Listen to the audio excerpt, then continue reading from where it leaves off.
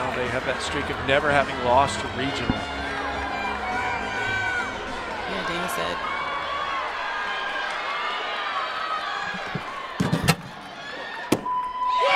Chapman on vault, and that was